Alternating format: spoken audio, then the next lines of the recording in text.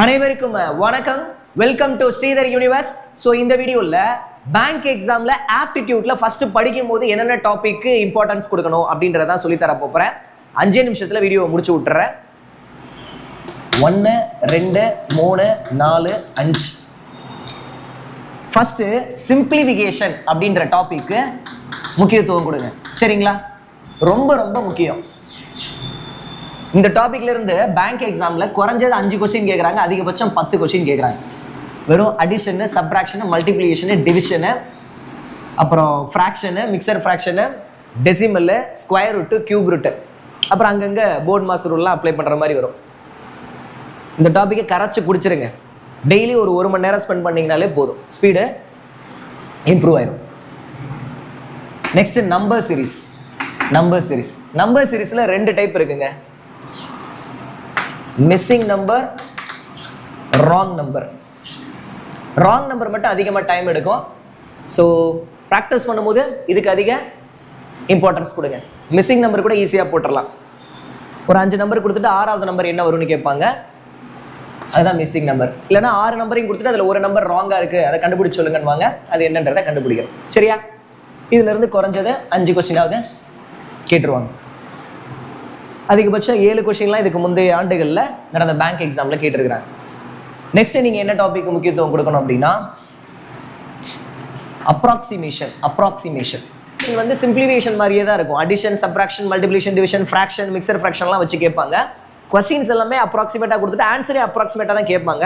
கொஞ்சம் அதிகமாக டைம் எடுக்கும். இப்போ பேங்க்கில் கிளர்க்கு பிஓ அப்படின்னு சொல்லி ரெண்டு போஸ்ட் இருக்குது இப்போ கிளர்க் போஸ்டிங்காக இருந்ததுன்னா சிம்பிளிஃபிகேஷனுக்கு தான் அதிக முக்கியத்துவம் கொடுப்பான் இதுவே பிஓ போஸ்டிங்காக இருந்ததுன்னா அப்ராக்சிமேஷன்ற டாப்பிக்கில் இருந்தால் அதிகமாக கொஸ்டின்ஸ் கேட்பாங்க.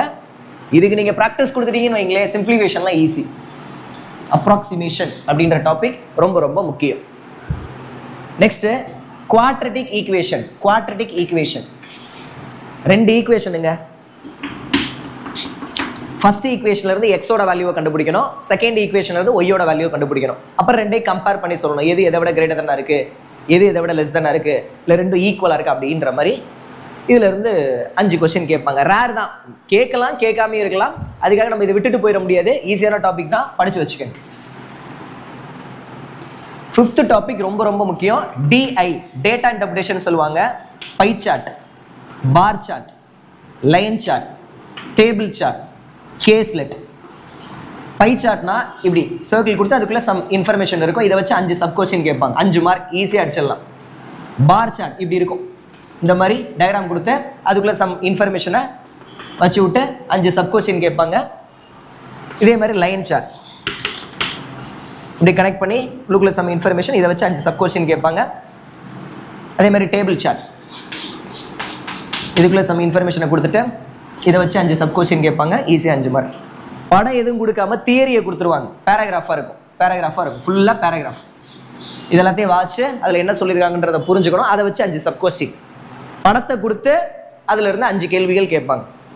அப்போது இந்த டாப்பிக்லேருந்து இருந்து குறைஞ்சது எப்படியும் ஒரே ஒரு படமாவது கொடுத்துருவாங்க. அப்போ ஒரு படம் கொடுத்தாலே அஞ்சு மார்க் வாங்கிடலாம். அதிகபட்சம் ஒரு மூணு படமாவது கொடுப்பாங்க. பதினஞ்சு மார்க் வரையும் வாங்கலாம். ஸோ அப்போ நீங்கள் உங்களுடைய ப்ரிப்பரேஷனை ஸ்டார்ட் பண்ணும்போது எந்த டாபிக் அதிக முக்கியத்துவம் கொடுக்குறீங்கன்னா இந்த டாபிக் அதிக முக்கியத்துவம் கொடுங்க. இதெல்லாம் ஸ்கோரிங் டாபிக் சரிங்களா? ஃபஸ்ட்டு பேசிக் எல்லாத்தையும் கரைச்சி குடிச்சிருங்க. அதுக்கப்புறம் டெய்லி ஒரு ஒரு மணி நேரம் ப்ராக்டிஸ் கொடுத்தீங்கனாலே போதும். ஸ்பீடெல்லாம் தாறுமாறாக இருக்கணும் இந்த டாப்பிக்கில் ஃபஸ்ட்டு கான்செப்டை அண்டர்ஸ்டாண்ட் பண்ணிக்கோங்க நம்பர் ஒன் செகண்ட் ஆன்சர் கொண்டு வர எபிலிட்டி கரெக்டாக அக்யூரேட்டான ஆன்சரை கொண்டு வரும். மூணாவது தான் ஸ்பீடு ஸ்பீடாக சால்வ் பண்ணுற அளவுக்கு பழகிறேன் சரிங்களா?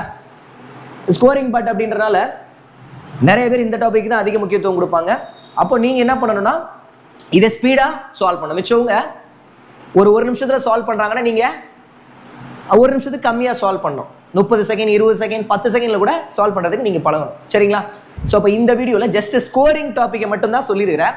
அடுத்த வீடியோவில் இதுக்கு அடுத்து எதெல்லாம் நம்ம முக்கியத்துவம் கொடுத்து படிக்கலாம் அப்படின்றத நெக்ஸ்ட்டு சொல்கிறேன் நம்ம ஆப்பில் பேங்க் எக்ஸாமுக்கான ஃபுல் கோர்ஸ் இருக்குது. Aptitude reasoning English banking awareness நிறையவே இன்னும் கண்டென்ட்லாம் அதில் ஆட் பண்ண போகிறோம் ஸோ நீங்கள் ஒரு பேங்க் எக்ஸாமுக்கு ப்ரிப்பேர் பண்ணிட்டு இருக்கக்கூடிய ஸ்டூடெண்ட்ஸாக இருந்தீங்கன்னா வெறும் ஐநூறுபாய் கொடுக்குறோம். Full bank exam course Google Play Store போங்க. ஸ்ரீதர் யூனிவர்சல் டைப் பண்ணுங்க. ஃபோட்டோவோட வரும். ஆப்பை இன்ஸ்டால் பண்ணி டவுன்லோட் பண்ணி வச்சுக்கோங்க. அதில் நம்ம போடக்கூடிய வீடியோலாம் பார்த்து படிச்சு லேர்ன் பண்ணிக்கிறேன். அடுத்து ஒரு இன்ட்ரெஸ்டிங்கான தரமான யூஸ்ஃபுல்லான கண்டென்ட்டோட நான் வந்து உங்களை சந்திக்கிறேன். நன்றி. வணக்கம்.